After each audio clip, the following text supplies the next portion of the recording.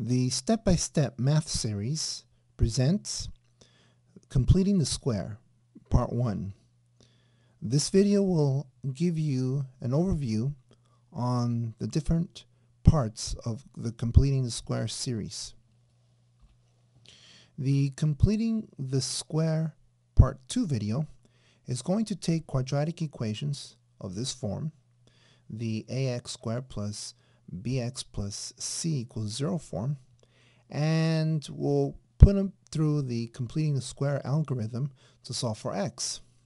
And we're going to do three different quadratic equations.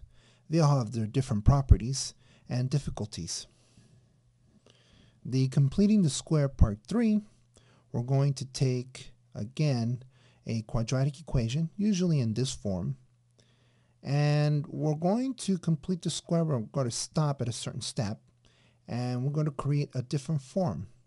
This form will help us identify the vertex and then we'll be able to graph the quadratic equation.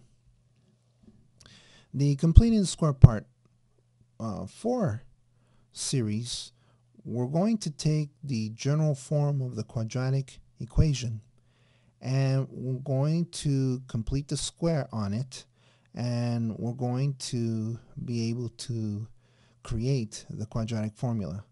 A very tedious process, but I think it's really well worth the view.